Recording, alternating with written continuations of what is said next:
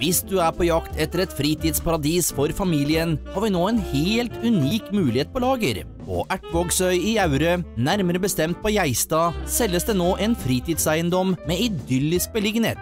Strandlinje, naust, låve og et koselig anneks. Våningshuset fikk retekket tak i 2011, og noen oppgraderinger i senere tid. Innendørs finner vi to romslige stuer med god plass til møbelgrupper, og en av de har koselig vedovn. Det pene kjøkkenet fikk innredning fra Ikea i 2006. Her er det også en vedovn for behagelig inneklima. Badet er praktisk og kan by på badekar med dusjvegg, innredning med servant og toalett. Boligen har totalt fire romslige soverom. Annekset har en koselig stue med vedovn, kjøkken i åpen løsning, to soverom, eget bad og en koselig veranda. Nyt livet i fantastisk natur med eget naust, båtutlegg, brygge, ca. 150 meter strandlinje og en medfølgende 15 fot båt med motor.